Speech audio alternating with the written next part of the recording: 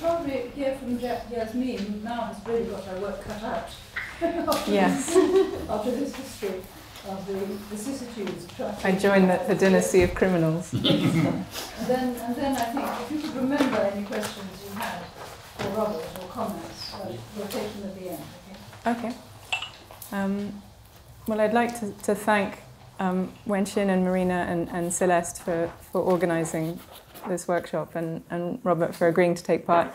It really is extraordinary to, to be doing a workshop on the nights in the presence of three people in Wen-chin, Marina, and Robert who've thought very deeply about this text, more deeply than almost anyone, and written, all produced essential books on the subject. Um, I've just brought Robert's Companion to the Nights, which, if you don't know it, is delightful and um, fascinating and has become a kind of magic object to me. I've read it a few times, and every time it seems to have new information as if it had secret compartments. It's, um, it's a really useful introduction to the text. Um, I should say that I'm at what feels like the very beginning of my encounter with, with this work. Um, I was commissioned, I did not choose this project, I was commissioned to produce a new translation of the Nights a couple of years ago. Um, I had been translating Arabic and French, mainly poetry, some prose, both contemporary and classical, for a little while, but mainly for myself. I was um, doing graduate work in Ottoman history, so I'm not, I don't have a background of academic expertise on this text, and it has really been a process of learning on the job.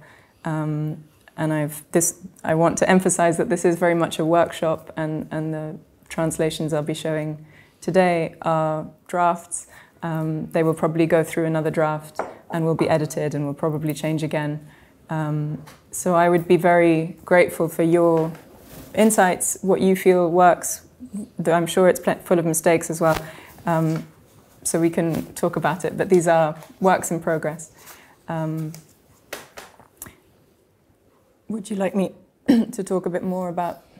Um, Um, sort of like Yasmine, uh, like you've heard Robert, and I'm sure you have read some of the translations, Mm. not all of them. mm, Uh, and you've also, I've noticed that you know you you know you're working with Mohsen Mahdi's text rather than Bulaq, and Yeah. and mm, of course, in some cases you will have to work with Bulaq text Yes. and maybe Calcutta or Calcutta two text, right? So can you sort of like tell us a little bit more about your responses to the various translations that Mm. you have worked with, and why do you feel that you know there is a need for a new translation or good question. better? Yeah, and the other thing is you know the Arabic text, how you Mm. respond to them, and your choices of these texts to work with. mm, And I, I suppose that mm, for most of us, and I can see most of us are women here, and we, we sort of like, you know, it would be sort of like great if you can t- tell us about women's voice as well. I mm, know there's a, a little bit, like a lot of it that you'll speak about at the public event, mm. but for now, like, you know, how do you weave into it and your voice into your translation, but also bring out the sort of like, how would you say, uh, embedded voices, Hmm. right? That wrapped up in male male voice or other voices. Literally embedded. Yeah. Yeah. Um, okay. I think, can I just add something, which is that Galland left out the poetry.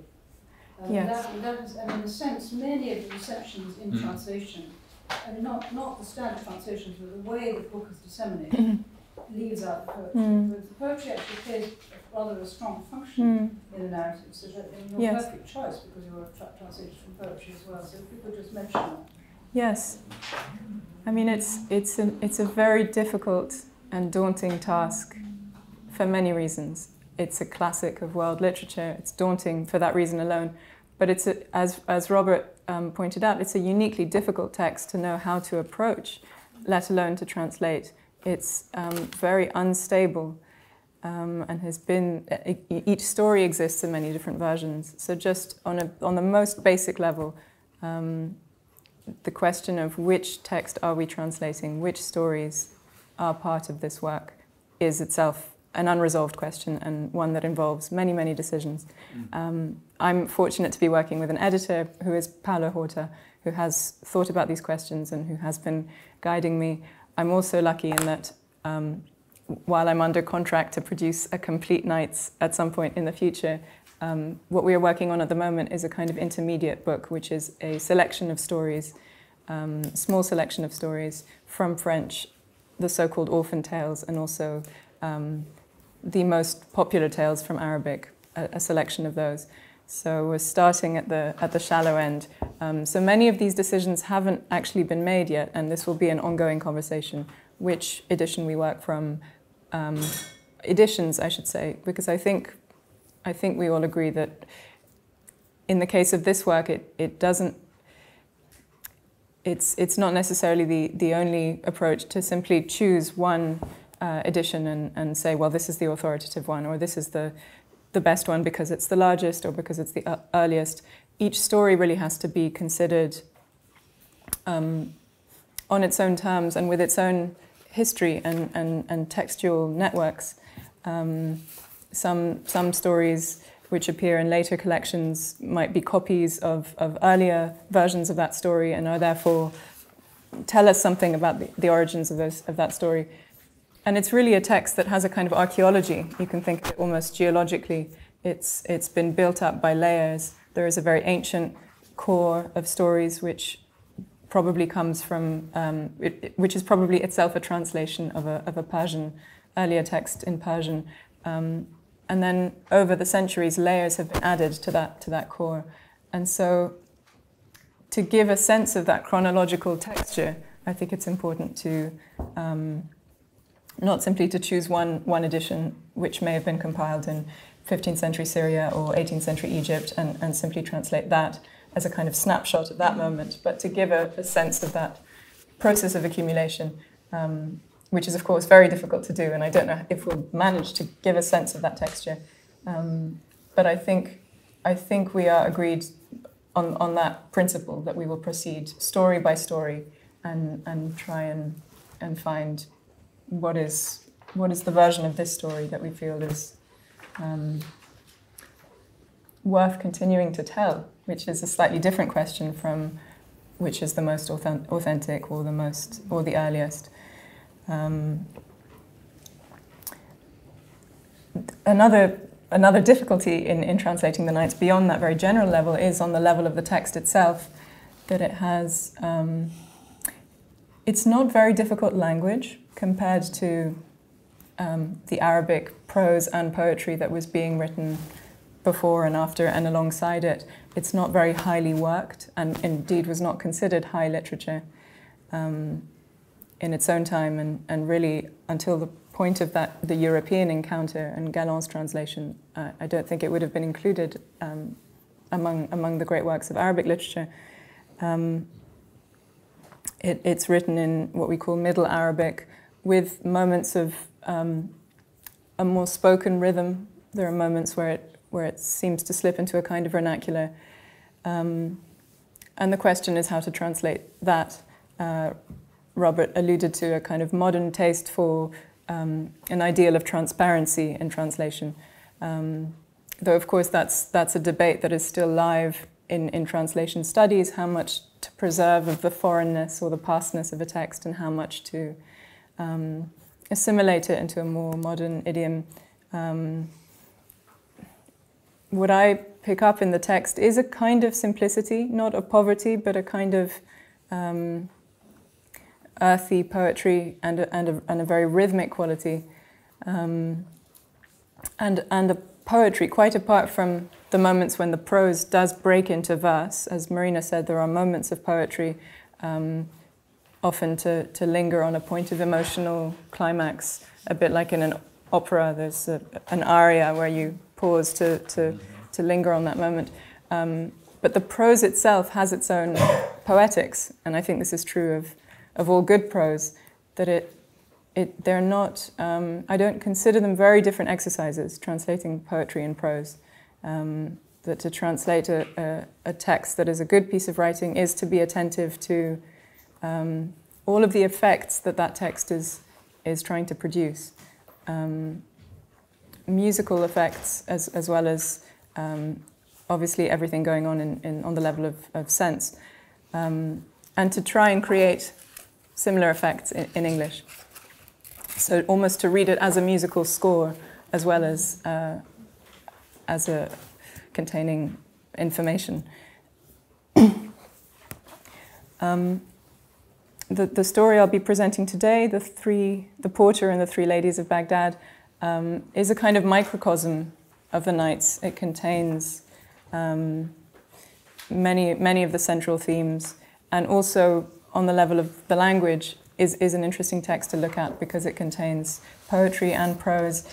Um, it's, it's, a, it's a text that becomes progressively stranger, and you'll see, we'll read the beginning, which is um, almost a piece of social history.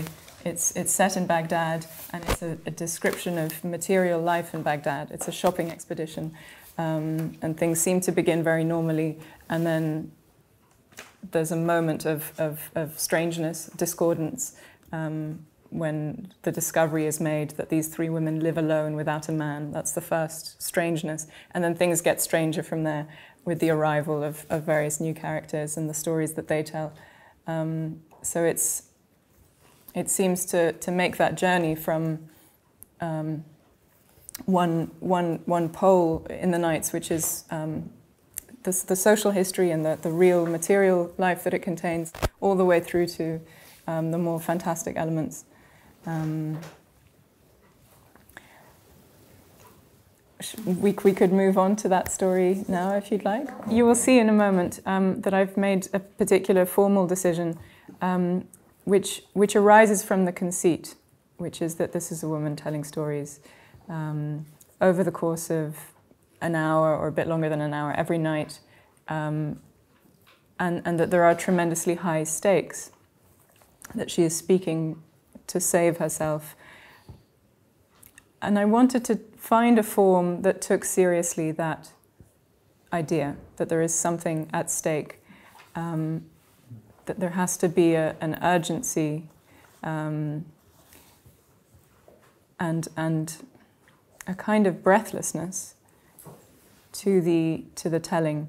Um, that she has to fill this time, she has to get to the end of the night, she can't stumble, she can't stop, um, so even though this is a, a fictional conceit, it, it, requires, or at least um, it seemed to me that there was room for a translation that attempted to um, to, to, find a form for that.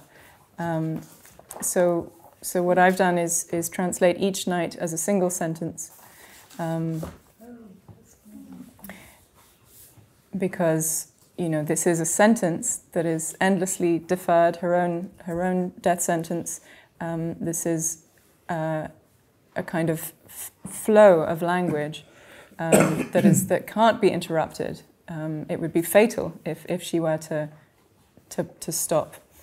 Um, and what I found, having made that decision, what I found getting back into the same sentence every morning, you know, working on one sentence for six months, um, is that it does become like a river. You slip into it and then you have to keep going. And it's, in a, in a funny way, easier to read and, and it moves more quickly, more swiftly um, in this way. I mean, you will tell me, this is, this is my impression. But that if you're always stopping and starting, there's always a point where you can put it down um, or take a break. But if, it's, if there's always more to come, um, it acts like a kind of hook or like a spell that you're caught, caught in it. Um, and so, you know, there is a question about whether that's possible, whether that works as a text, um, whether readers can bear it. Um, so we've, you know, I've tried to use spacing and, and commas and to give the eye some relief and um, and also the breath. You know, when you're reading it, to for there to be natural pauses. Um, but the idea is that finality is always deferred.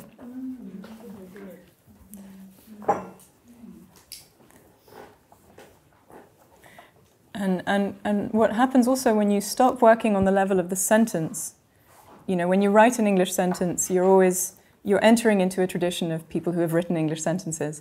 And so you, without being conscious of these decisions, you are inevitably, you know, you'll be writing a sentence that is more Henry Jamesian or more Hemingway-esque. You know, you'll be making formal decisions that mean that your sentences belong to certain traditions within the English tradition. But if you stop working on the level of the sentence and you instead work with um, rhythm and, and um, you, you move into a different sort of tradition, which is closer to song or, or scripture um, or incantation. Um, so it seemed to allow for a different kind of, um, for, for precisely this kind of loosely poetic prose that I feel is peculiar to the Nights, um, which I found difficult to, to, to capture in, in sentences. Um, but it came much more easily um, this way. Um, this kind of you know, poetic prose that we talk about a lot in Arabic, this kind of elusive thing, um, which some people just don't attempt at all because it is so particular and can um, can come off so badly in, in English when you try and just insert moments of rhyme in, into the prose. Um, but it seems to me that English has all kinds of resources for creating uh, rhythm and, and alliteration and without without being quite so thudding um, as, as just using rhyme. Um, so I've, I've brought just the beginning of uh, the story of the porter and the three ladies, um, which is I, I, love this story. I found it. I find it really fascinating. Um, Marina actually has a, a, copy of a book that we were just talking about earlier by, by someone called Sandra Naddaff, who wrote a beautiful book called Arabesque, um, which has a, a, brilliant discussion of this story. Um, and she says that it's about the, the, the, porter on the one hand and the women, the three women on the other, represent two worlds. That there's a kind of male, um, realistic world, and that the story moves progressively towards um, a, a, female metaphoric world uh, in which language and sexuality are connected. Um, and this this is a theme in the Nights, and I think particularly in this story, mysterious knowledge, um, being connected to language, being connected to female sexuality. Um, and, and there's, there's a point where that connection is drawn explicitly in this passage. Um, but what I could do is, is read it with that, with that um, or, or shall we hear it in Arabic first? Would, both? Would someone, would someone like to read the Arabic? Wafa, please do. Okay. Uh, بلغني أيها الملك السعيد أن إنسانا من مدينة بغداد وكان عازبا وصنعته حماما فهو في بعض الأيام واقفا في سوقه متكيا على قفصه إذ وقفت عليه امرأة ملتفة في إزار موصلي مشعر بحرير بعصبه قلعي قلعية يخف ذرخوني بشريط لاعب بسرموجة بعرق لاعب. It's basically woven. فوقفت وقفت عليه وشالت شعريتها لأن من تحتها عيون سود بهدب أشفان طوال مدينة ناعمة الأطراف كاملة الأوصاف. This is the rhyme كما قال فيها بعض واصفيها.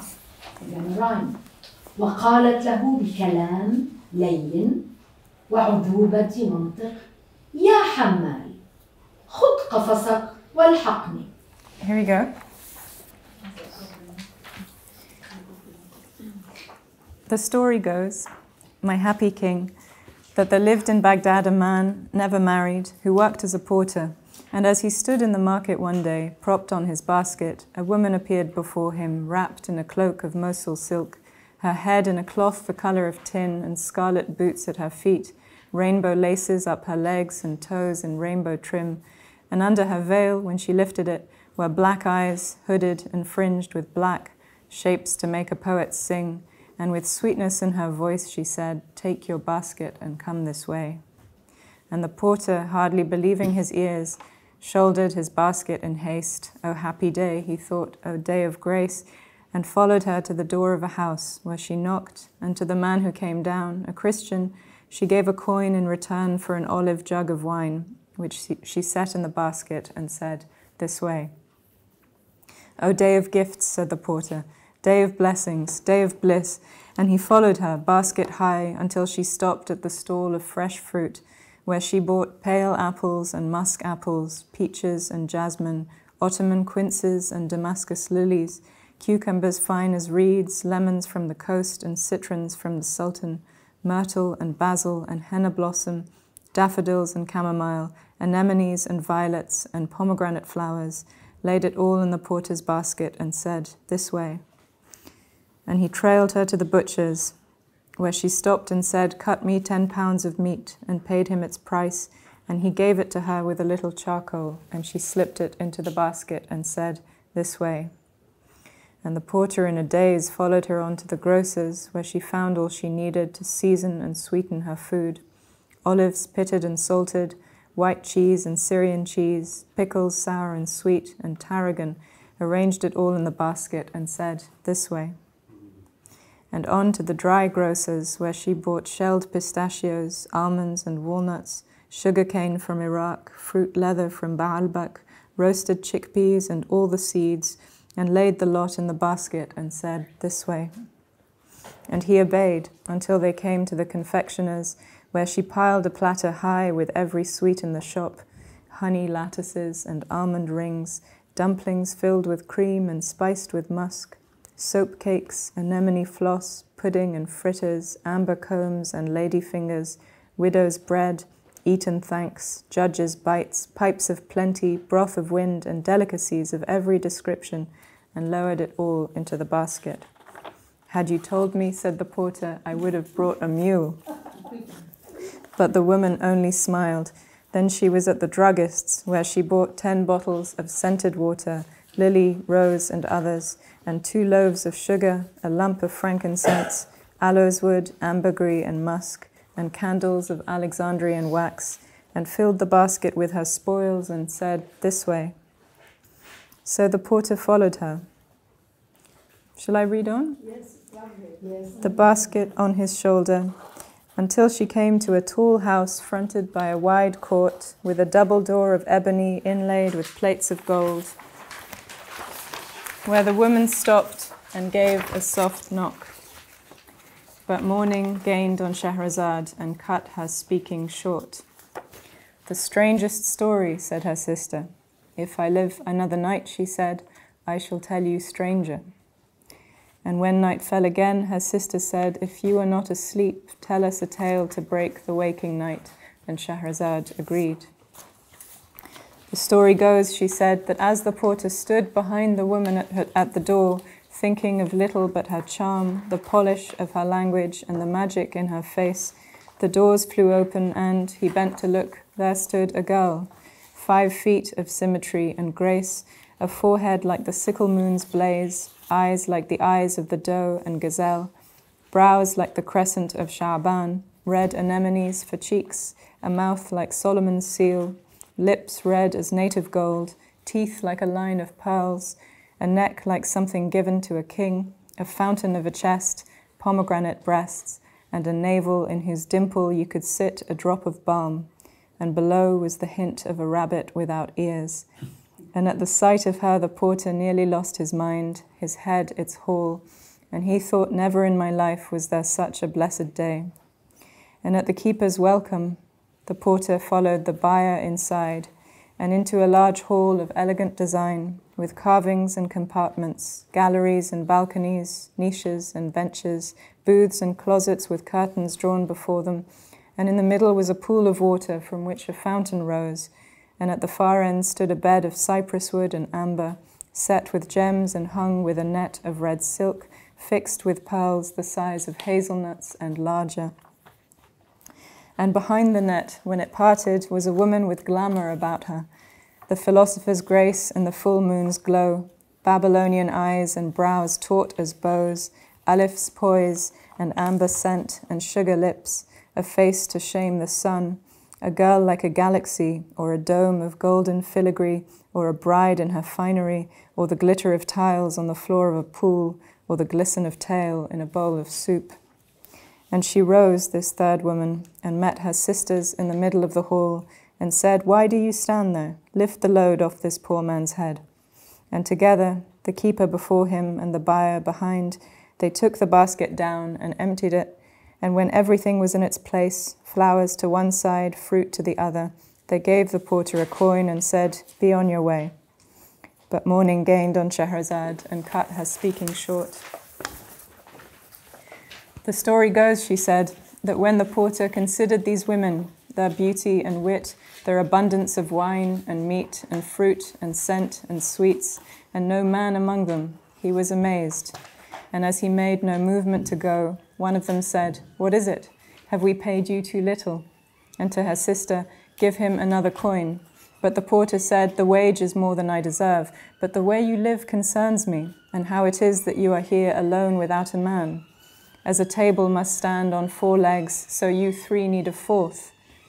And as the pleasure of men falls short without women, so it is for women without men. And they laughed at him and said, Being women, we have secrets. Why should we reveal them where may, they may not be kept?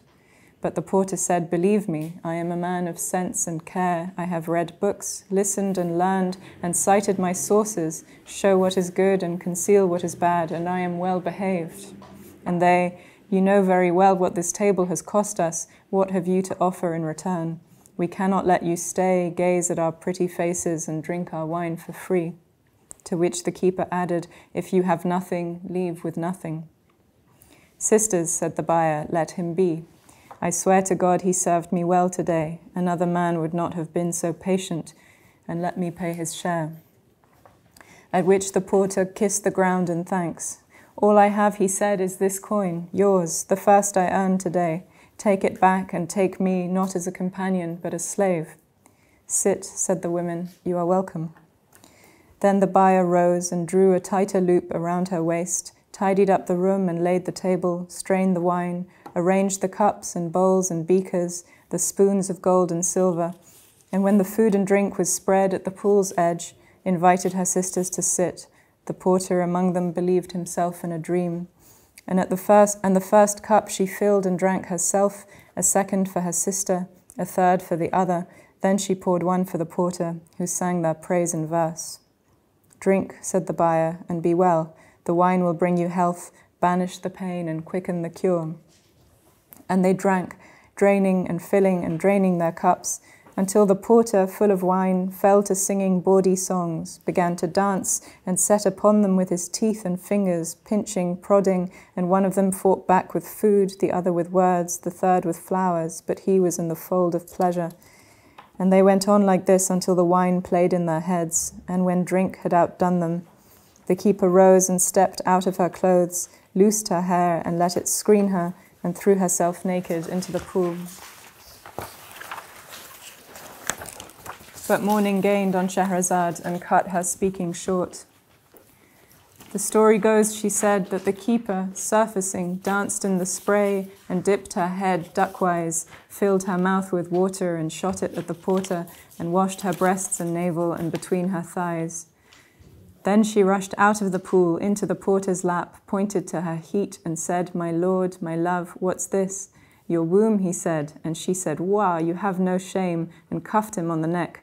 Your mound, he said, and one sister shouted, Ugly word, and nipped him. Your cunt, he said, and the other hammered at his chest to cries of shame and knocked him back. Your sting, he said, and the naked woman smacked him and said, No.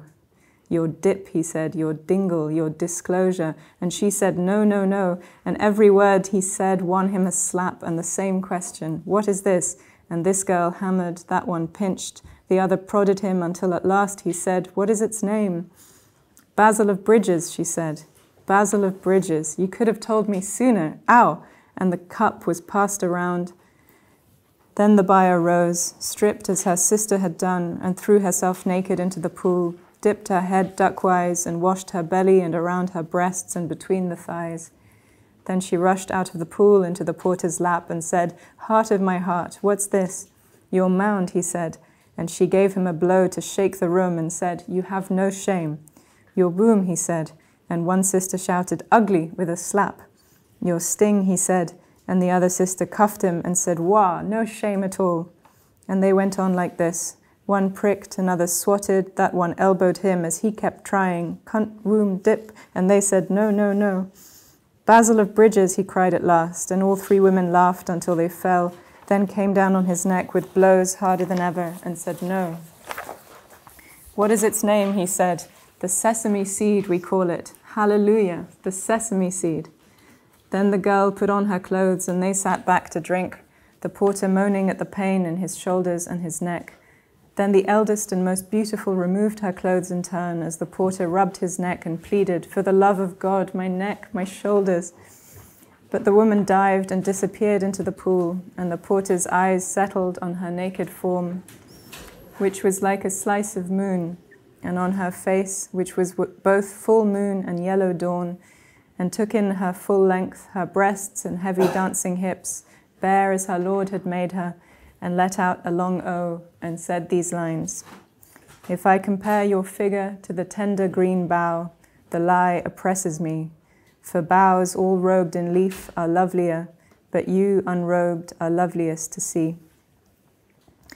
And the girl at these words rushed out of the pool into the porter's lap, pointed to her heat, and said, Light of my eyes, my little liver, what is this? Basil of Bridges, he said. Bah! Sesame seed, he said. Uff! Your womb, he said. Yoh, so little shame, she said, and came down on his neck.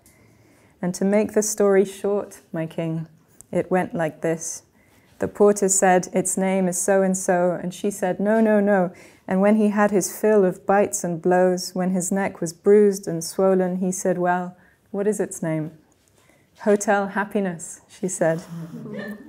Hotel Happiness. Then she rose and dressed, and they passed the cup between them for a while. And at last the porter stood, took off his clothes, a dangling thing between his thighs, and leapt into the pool.